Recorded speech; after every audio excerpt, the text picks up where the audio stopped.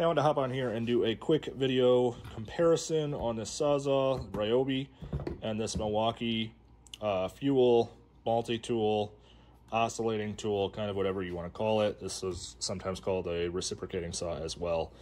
Both of these are awesome. You're going to kind of do different things with these. So this Sawzall reciprocating saw, that's going to be more for big projects, demolition, anything like that.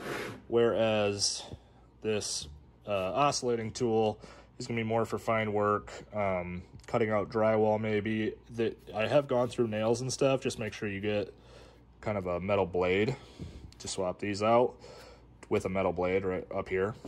But yeah, both these are great, um, kind of different applications. So I would recommend that you have both of them. Um, in terms of which one to get first, it kind of depends on what your first kind of uh, project is. So yeah, both are awesome. Thanks for watching. Good luck.